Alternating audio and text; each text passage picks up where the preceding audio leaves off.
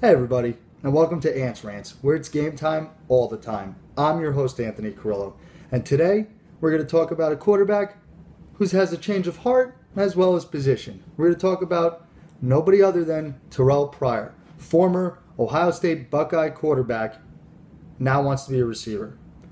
Terrelle Pryor came into the league in the supplemental draft of the third round. Al Davis, the late Oakland Raiders owner's last pick, and has been on four teams since then. Finally, he was waived by the Cincinnati Bengals earlier this week, and now him, through his agent, has stated that he wants to try out being a receiver. I love it. He's got athleticism, he's got size, he's got speed. I think it's a great move. He's, what is he, 6'5, 240?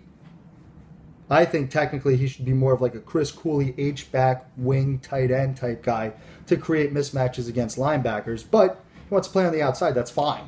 He runs like a four four. Like you kidding? Like I would take him as a receiver if I was still playing. Line Terrelle Pryor up outside. I'll get him the football. Guy's huge. You think about the top receivers in this league. Most of them have height. Calvin Johnson, Larry Fitzgerald, Alshon Jeffery, Brandon Marshall, Jimmy Graham, who is a tight end, but he wants to be known as a receiver because he wants to get paid like one. Seriously, think about it. You wouldn't want your favorite team to have a six foot five, 240 pound receiver that runs a 4 3 running routes for you. Looks pretty good, doesn't it? Look at the Denver Broncos, what they had before Julius Thomas went to Jacksonville. You had Julius Thomas, you had Demaryius Thomas, you had Eric Decker, you had Peyton Manning. Granted, Peyton Manning is the sheriff, but still, come on. You don't think I would want the Jets to take a waiver on this guy?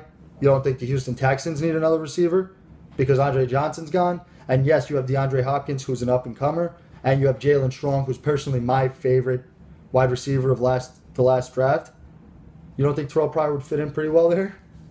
Come on it's it's almost a no-brainer. He should have done it sooner. I think after the stint with Seattle, he should have realized, okay, quarterback's not for me. Let me move to receiver and salvage my career. But you know what? It's better late than never. If you have a different opinion or you want to talk about something else or you want to ask me a question, all the information to contact me is down below. You can follow me on Twitter and send me messages there. You can tweet me. You can email me. I have a Facebook page now. You can go to the Facebook page. Please go to the Facebook page and like it because that would be fantastic. Um, share it with your friends, your family, your loved ones. If you're still in school, your professors or your teachers, uh, your dog. If your dog knows how to use Facebook, whatever, whoever you want to share it with is fine by me. My name is Anthony Carrillo. This has been another episode of Ants Rants, where it's game time all the time. Thank you and have a great day.